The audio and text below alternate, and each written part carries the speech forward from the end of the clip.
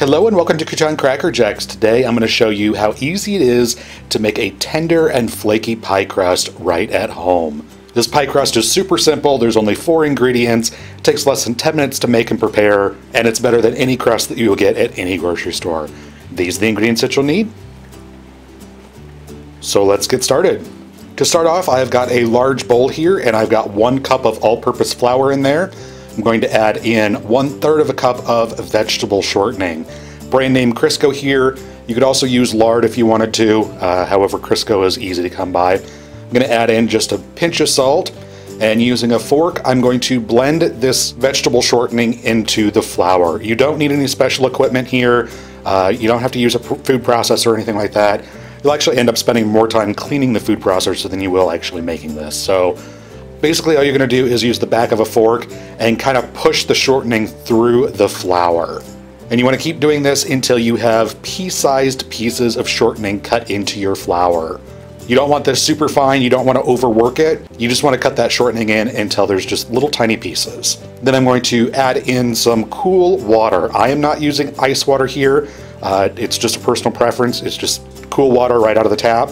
And I'm going to start with between two and three tablespoons and add that in and using the same fork that I used to cut in the shortening, I'm just going to stir this around and mix it in. Now if you see that your dough is still a little bit too dry and it's not coming together, add in another tablespoon or two of water to that and continue mixing until it comes together and kind of forms a dough. Now you want to watch it here because you do not want to overmix your dough here. That will lead to a very tough dough and that's definitely not what you want. You want it nice and tender. And then using my hand, I'm just going to bring this dough together into a ball.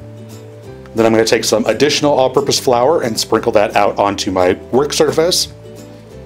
And I'm going to take that ball of dough and place it right on top of that flour. I'm also going to flour my rolling pin here. And I'm going to start rolling this out. Now you notice I do not refrigerate my dough after I make it before I roll it out. Using solid vegetable shortening, you don't have to. Uh, the nice thing about using all shortening is A, you don't have to refrigerate it like I just said and B, it will give you the flakiest and most tender crust there is. And you're probably wondering, you know, why don't you add butter? You know, you want the flavor, everything else. Really, there's such a minuscule amount of butter in those recipes that actually do use some butter. Uh, it's really not going to make that much of a difference by the time you fill up your pie uh, and you bake it and do all that other stuff. So I don't even worry about it. I just use straight vegetable shortening and I'm done with it.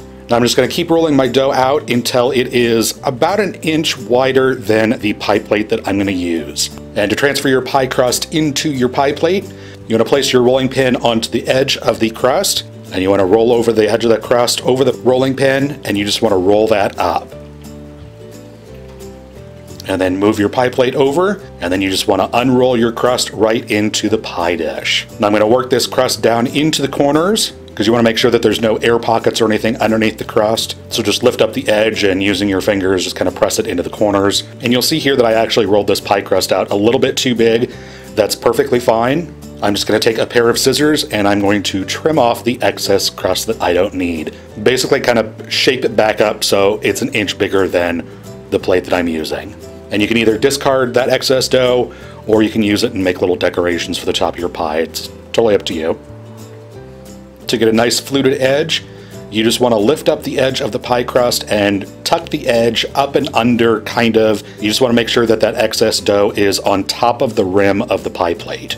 Now to even up that edge, you want to take your index fingers and thumbs and you're just going to work the outside edge, just kind of pressing that crust together with your fingers and also pressing it down onto the rim of the pie plate. You just want to make sure that it's nice and even all the way around. Uh, if there's any air bubbles, you want to make sure and get those out.